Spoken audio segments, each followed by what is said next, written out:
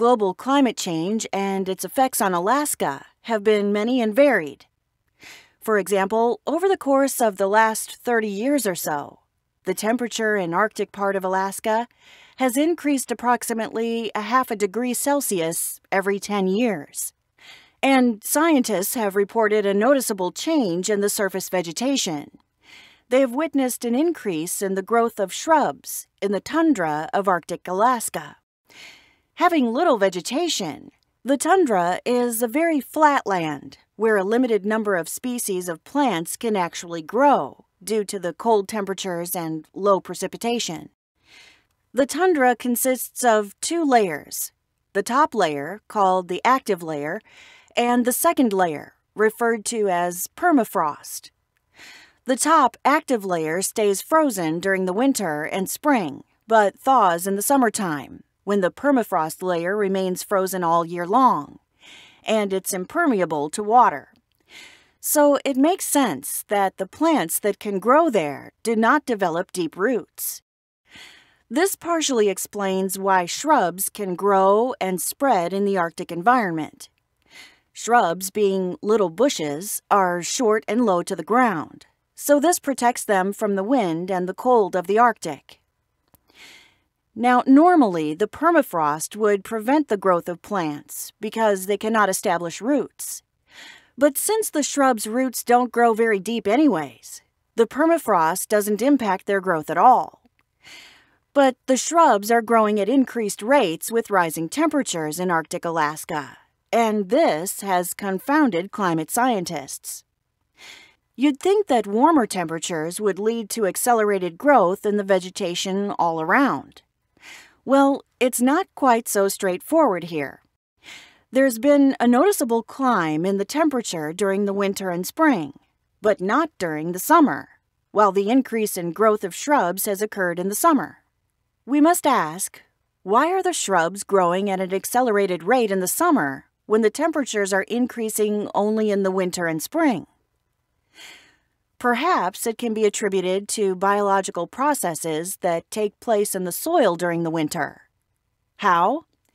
Well, microbes, which are microscopic organisms that live in the soil, allow the soil to have higher nitrogen levels, which plants require to survive.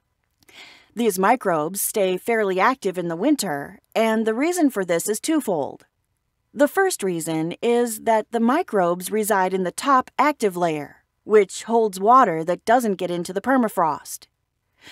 The second reason is that most of the Arctic's precipitation is in the form of snow, which covers the ground in the winter and has an insulating effect on the soil below it. This ensures that the soil below stays warm enough for the microbes to remain active. Thus, over the course of the winter, the production of nutrients spikes, and this whole process has caused the increased growth of the shrubs in the summer and their expansion in the tundra. The largest increase in shrub growth correlates with these areas that are more nutrient rich. Okay, but when the snow melts during spring runoff, will the nutrients not get washed away? I thought the spring thaw washed away the soil. You see, most of the soil often stays frozen during peak runoff time, and the nutrients stay deep in the active layer. They're not up at the top near the surface, which is the part of the active layer that's affected most by the runoff. Anyways, there's more to it. Snow gets trapped by the shrubs when it's blown around by the wind, as the tundra is very windy. This causes deep drifts to surround the shrubs, of course, this means that the insulating effect of the snow is greater where this occurs, so it keeps these areas warmer, which causes increased microbial activity. And of course, as mentioned, more microbial activity means more food and nutrients for the shrubs, which leads to more shrub growth. And then more snow accumulates around them, and so on. It's a cycle, a biological loop. And it seems that the tundra is transforming into a shrubland due to this cycle, which is brought on by higher temperatures in winter and spring. So, will it stay like this for a long time? Won't the shrub stop and it'll turn back into tundra? I'd like to say so, but there are cases of shrub expansion in other environments, such as semi arid grassland and tall grass prairies. and it appears that the expansion in these areas does continue, almost to the extent of creating a major change.